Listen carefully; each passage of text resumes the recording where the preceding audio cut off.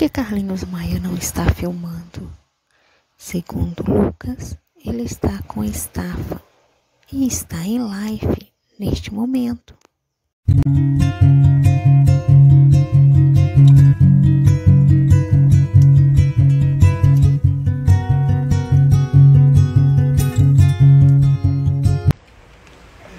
Acabei de chegar aqui nesse PT, tô chique, né, gente? Só Deus mesmo, né? Tudo bom, Sandra? Tudo Boa tarde, meu amor. Coitado do meu nariz, bichinho. Não aguenta mais. De tanto que futucam ele, minha filha. Venha devagar, viu, Sandra? Pode deixar. Pelo amor de Deus. Fazer mais um teste do Covid, que a gente só entra nos programas. É, qualquer emissora que for fazer, é só com teste de Covid. Na hora. E eu já vou mostrar o resultado pra vocês aqui mais uma vez. Cheguei aqui já fazendo foto com a Carmen, as meninas aqui super carinhosas. E o que é que eu disse a Carmen? Eu não faço foto não, que a gente faz um book, né, minha filha? aí, muito bem. Ô, Carmen, obrigado pelo carinho, tá, meu amor? Tudo de bom.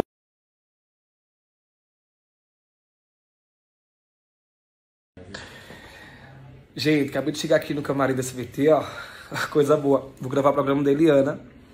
Inclusive, já já começa, né, Éder? Opa, daqui a pouco. Já já começa e vamos arrasar, né, meu filho?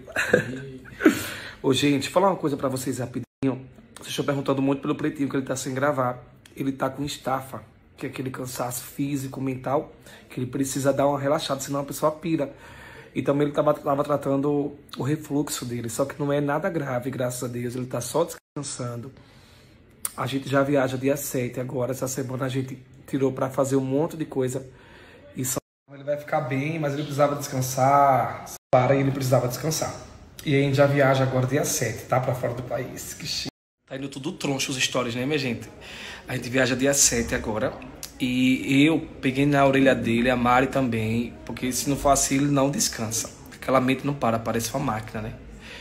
E daí ele se cobra também quando não grava pra vocês e tudo. Inclusive ele tá lá no podcast agora explicando sobre as metas dele, sobre os projetos, sobre esclarecendo muitas dúvidas também que vocês têm. E daí vou deixar aqui o link para vocês acompanharem que tá em breve ele volta 100%, tá bom? Agora ele tá 100% para mim. Depois ele volta 100% para vocês. Mas é isso, gente, viu? E já já eu vou estar no programa da Eliana e vocês vão amar. E tá aqui o link da entrevista dele do podcast, tá top.